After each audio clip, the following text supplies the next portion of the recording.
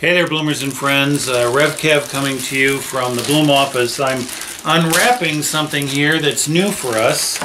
It is a print that um, has a neat history to it, uh, and it's a gift to our church from uh, uh Jack and Megan Cassette.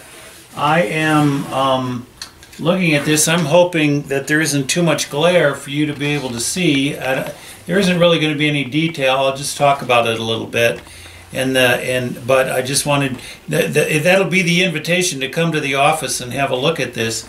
If you can't see it very well on the on the screen, but the thing about this is this is a Hungarian um, etching that is a print um, by an author that uh, is um, something that uh, is uh, a gift that uh, Jim um, Nixon got from a friend of his that the cassettes took and had framed um, for the Bloom office. And the thing that I just want to say, I'm not going to go through all of it, but what it is, when and, and I saw this at the Bloom, uh, just before the Bloom um, uh, um, garage sale that we had at the Cassettes Garage. I saw these prints, and this was one of them, and I said, That's a story of the Nativity. It's a picture of the Nativity of Jesus. Uh, it's like a Christmas morning picture um, done in the context of a Hungarian village.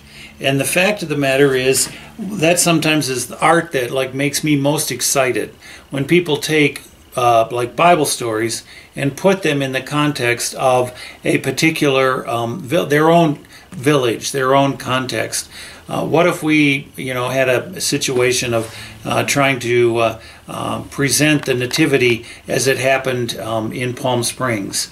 Um, but here, this is a, uh, a Hungarian village um, we don't know exactly how old this print is, but the thing that's so fun is all of the characters from the village that are in it. It is too dense to even see.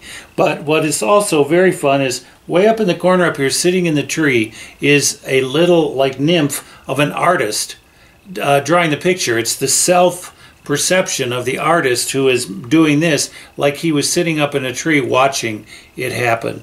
So I, know it's not Christmas, you know, at this time, but this is something that it's a gift that just came into the life of Bloom.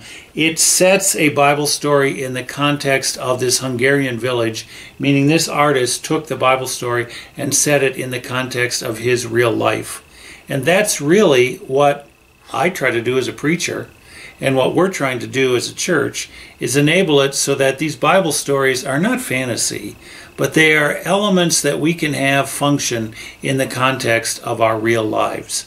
And that's what we're trying to do. And I think this picture is able, this print is able to be um, an inspiration for us uh, doing that in the future. So you come down to the Bloom office and, and have a look at this, and, and we can explore it and, and you know, learn uh, from it together. Um, and that's what we'll try to do again this Sunday. It's uh, the story of the blind man who was taught to see. He just says, All I know is once I was blind and now I see. Um, that's the story for, for this Sunday. We hope you can be with us uh, in worship. If you can't be with us in body, please be with us in spirit. And as always, please keep us in your prayers.